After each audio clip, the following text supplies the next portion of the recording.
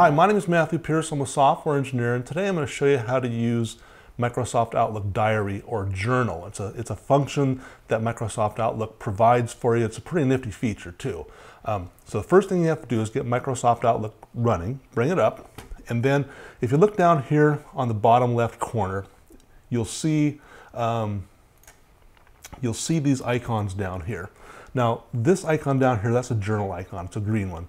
Um, you may not have it there. If you don't, go to this arrow here, say add or remove buttons, and then find the journal there and add it. And what that'll do is it'll add it to this bar here.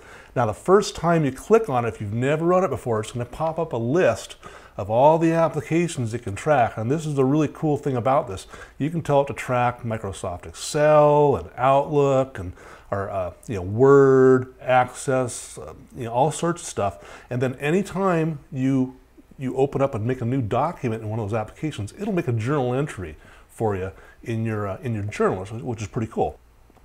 To add a new journal entry, you can click on your journal, bring up new. You'll see that uh, the icon up in the upper left-hand corner here. You click on that, and then you can come in and you can make a journal entry of whatever you like to do, put your subject in, you have a a stopwatch timer here. You can start timing how long you spent doing something, and then you can pause the timer there and save that. And it'll save all this information for you um, in a journal entry that you can you can later look at. Once you save it, then you end up with a bunch of journal entries here. And you can see right here, there's one a journal entry for I, I brought up Microsoft uh, PowerPoint because I've been tracking that.